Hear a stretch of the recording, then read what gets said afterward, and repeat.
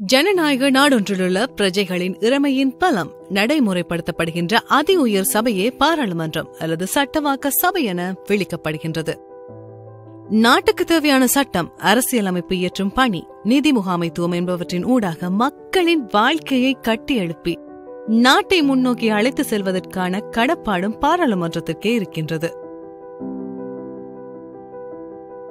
மக்கள் பிரதிநிதியாகவே பாராளுமன்ற உறுப்பினர்கள் அதி உயர் சபைக்கு செல்கின்றனர். இருபத்தி ஒன்று தசம் நான்கு நான்கு மில்லியன் இலங்கை குடிமக்களின் சுபீட்சமான எதிர்கால கனவுகளோடு ஆயிரத்தி தொள்ளாயிரத்தி முப்பத்தி ஒன்றிலிருந்து இன்று வரை எண்பத்தி எட்டு வருடங்களாக சிறப்பான வளமான எதிர்காலத்துக்காக இலங்கை மக்கள் காத்திருக்கின்றனர். ஆனால் எமது வாக்குரிமை மூலம் தெரிவு செய்யப்பட்ட மக்கள் பிரதிநிதிகள் தமது கடமைகளை உரிய வகையில் நிறைவேற்றுகின்றனரா? அவர்களை மக்கள் பலத்தின் மூலம் தெரிவு செய்து பாராளுமன்றம் அனுப்பும் நாம் அவர்களின் செயற்பாடுகள் தொடர்பில் திருப்தி கொள்ள முடியுமா? இரண்டாயிரத்து பதினைந்து ஆகஸ்டில் நடைபெற்ற பொது தேர்தலின் பின்னர் எட்டாவது பாராளுமன்றத்துக்காக எம்மால் தெரிவு செய்யப்பட்டு அனுப்பப்பட்ட மக்கள் பிரதிநிதிகள் அங்கம் வகிக்கின்ற கட்சிகள் ஜனாதிபதி தேர்தலை எதிர்கொண்டுள்ளன. அரசாங்க தலைமைத்துவத்தை ஆட்சியை கோரும் அவர்கள் பாராளுமன்றத்தில் தமது கடமையை சரிவர நிறைவேற்றியுள்ளனரா என்று நீங்கள் கேள்வி எழுப்புகிறீர்களா? பாராளுமன்றத்தில் எமக்காக அவர்கள் தங்கள் கடமைகளை சரிவர செய்துள்ளார்களா? நாட்டின் பிரதான கட்சிகளை பிரதிநிதித்துவப்படுத்தும் மஹிந்த ராஜபக்ஷ சஜித் பிரேமதாச அனுரகுமார திசாநாயக் ஆகிய பாராளுமன்ற உறுப்பினர்கள்.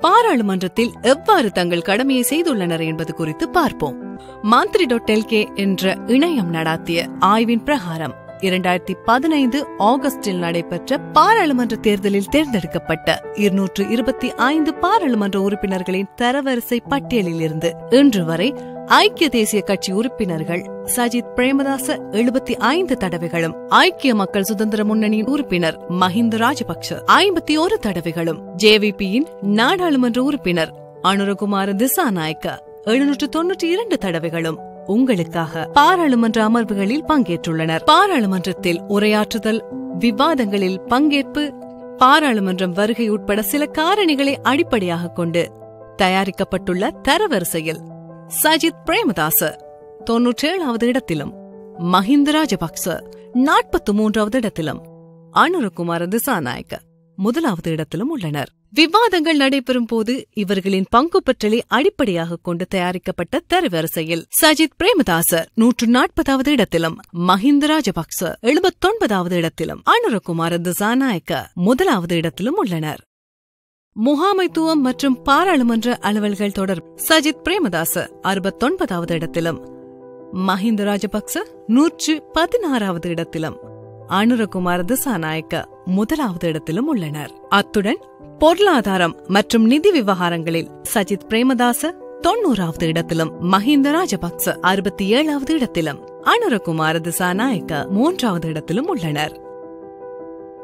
வர்த்தகம் மற்றும் கைத்தொழில்சார் விடயங்களுக்கு சஜித் பிரேமதாச மற்றும் மஹிந்த ராஜபக்ச ஆகியோர் எந்தவித பங்களிப்பையும் வழங்கவில்லை. இதில் அனுரகுமார திசாநாயக்க நான்காவது இடத்தில் உள்ளார் விவசாயம் பெருந்தோட்டம் மீன்பிடி கால்நடை போன்ற விவாதங்களின் போது இவர்கள் வழங்கிய பங்களிப்பின் பிரகாரம் சஜித் பிரேமதாச எழுபத்தி எட்டாவது இடத்திலும் மஹிந்த ராஜபக்ச நூற்றி ஐம்பத்தைந்தாவது இடத்திலும் அனுரகுமார திசாநாயக்க ஒன்பதாவது இடத்திலும் உள்ளனர். இயற்கை வளங்கள் மற்றும் சுற்றாடல் அலுவல்கள் தொடர்பில் சஜித் பிரேமதாச நூற்று எழுபத்தி நான்காவது இடத்திலும் மஹிந்த ராஜபக்ச நூற்று அறுபத்தெட்டாவது இடத்திலும் அனுரகுமார திசாநாயக்க ஆறாவது இடத்திலும் உள்ளனர். பாராளுமன்றத்தில் கல்வித்துறை தொடர்பில் சஜித் பிரேமதாச எந்த ஒரு நடவடிக்கையும் மேற்கொண்டதில்லை என்பதுடன் மஹிந்த ராஜபக்ச நூற்று முப்பத்தி எட்டாவது இடத்திலும் அனுரகுமார திசாநாயக்க பதினைந்தாவது இடத்திலும் உள்ளனர். தேசிய மரபுரிமை ஊடகம் விளையாட்டு தொடர்பில் பாராளுமன்றத்தில்